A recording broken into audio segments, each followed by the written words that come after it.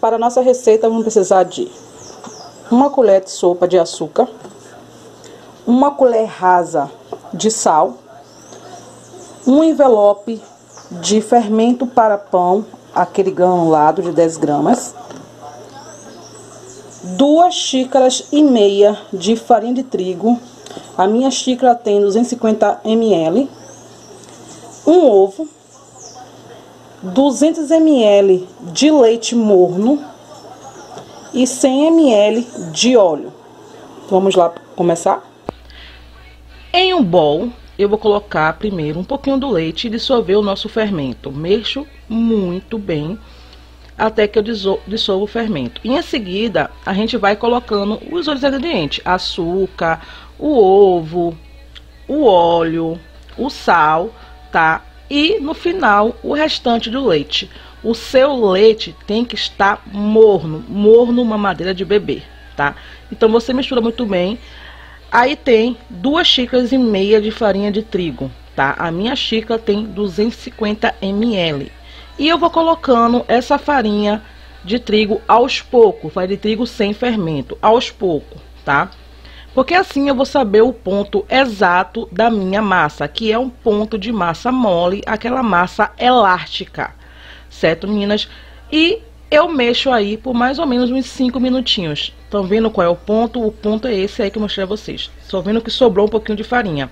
Essa é a dica. Ir colocando a farinha aos poucos até chegar no ponto da massa mole que a gente quer. Agora com nossa forma, eu untei a forma com óleo certo? Olha o ponto da massa como é que fica. Estão vendo? Aquele ponto elástico. A minha forma está untada com óleo. O meu forno já está pré-aquecido a 180 graus. Certo, meus amores? E agora eu vou espalhar essa massa toda na minha forma. Vocês podem usar forma de pizza, forma quadrada, da que vocês quiserem, tá bom? E aí eu vou espalhar toda a massa na forma. Depois de espalhar toda a forma, toda a forma, olha, toda a massa da forma. Eu vou colocar um pouquinho de molho de tomate. Gente, é um pouquinho mesmo, tá? Porque essa massa não pode ficar úmida, senão não dá certo. Queijo aí, eu tô usando queijo prato, mas você pode usar queijo mussarela, o queijo que vocês quiserem, tá? Eu tô usando um recheio que eu tenho em casa.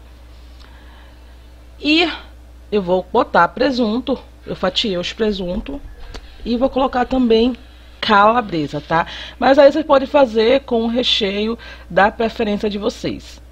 E, gente, essa pizza fica uma maravilha. Eu deixei ela assar, forno pré-aquecido a 180 graus, por aproximadamente 35 minutos, tá, meninas? Orégano a gosto, porque eu agora sou a louca do orégano também.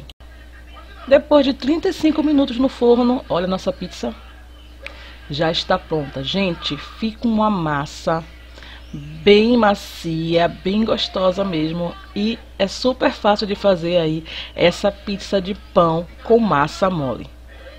Fica uma maravilha. Se vocês gostaram de mais um Cozinhando com a Lili, deixa aqui seu comentário, curta o vídeo, compartilhe, se inscreva no canal, certo? E se vocês fizerem a pizza, me diga que eu quero saber o que foi que vocês acharam. Então tá aqui mais um vídeo pra vocês. Beijo, beijo e até o próximo Cozinhando com a Lili. Tchau!